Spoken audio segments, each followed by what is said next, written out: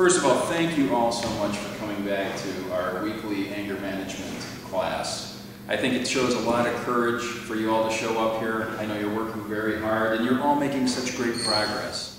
So I'd like to go around the group now and ask each one of you about a positive thing that happened to you this week. Um, I had a pretty good week this week. Um, I got promoted at work and I, you know, got along well with everybody around me, so it was pretty good.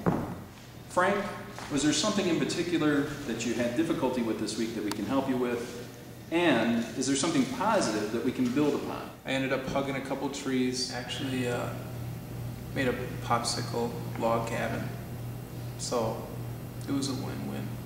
Um, my week was pretty good. I mean, I didn't even punch my professor in the face. Dom, it looks like you've had a good week just based on your demeanor today. I made some good progress this week. Added some poundages to my bench press. And Hilda, how about you? My week, just like my life, and my job. I hate my boss. I hate everybody. I shouldn't even have to work. I have so much talent and I can't get a paying gig anywhere. And then they have the audacity to ask me to work this weekend at my job. I mean, who are people? Do not realize that I'm there to like get a paycheck and that I'm not there for their amusement and for them to just use and abuse me. I mean, I'm telling you, I have friends in the chorus of the that are better than these clowns that are getting lead roles at like.